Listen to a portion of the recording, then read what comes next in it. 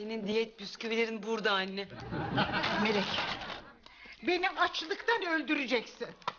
Bir kere doktorum bana kolesterolümün çok normal olduğunu söyledi. Yapma anne bırakır mısın?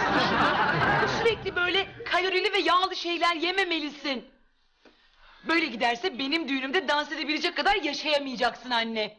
Söylediğin şeye bak. Senin düğününde dans edebilmek için dünyanın en uzun yaşayan kadını olmam gerekecek. Gördün mü bak. Bir şey yemediğim zaman nasıl da kırıcı oluyorum. Neyse. Gitmem lazım. Hoşça kal hayatım. Güle güle anne. Bir dakika. Öpücük mü isteyeceksin yoksa? Hayır. Daha tatlı bir şey.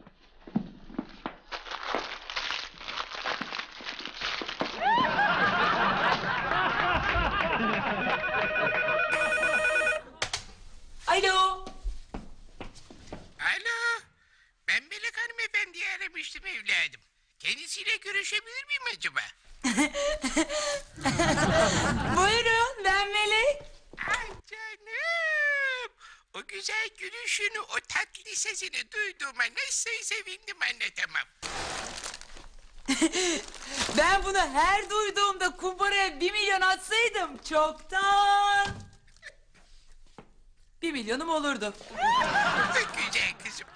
Nereden başlayacağımı pek bilemiyorum ama... ...istersen hemen konuya geçeyim. İyi olur iyi olur. Melek'cim, bundan seneler önce hastanede bir karışıklık olmuş ve büyük bir ihtimalle de senin annen benim yavrum. Yok canım. Olur mu öyle şey? Siz yanlış melekle konuşuyorsunuz herhalde. Hoş. İnsanın gerçek annesi dışında kim bu gülüşten fazlaca hoşlanabilir ki?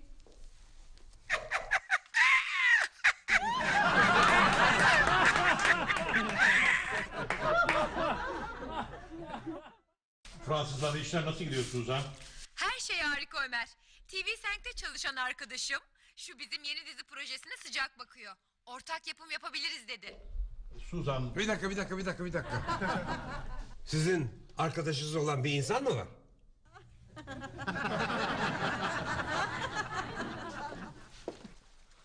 Suzan. Umarım farkındasındır. Eğer bu iş gerçekleşir de projeyi satarsak... ...senin bir süre Fransa'da olman gerekecek. Ne o? Bay Keskin kulaktan hiç yorum yok mu? Yok hayır. Pertev şu anda bahçede. Seni duyduğunu sanmıyorum.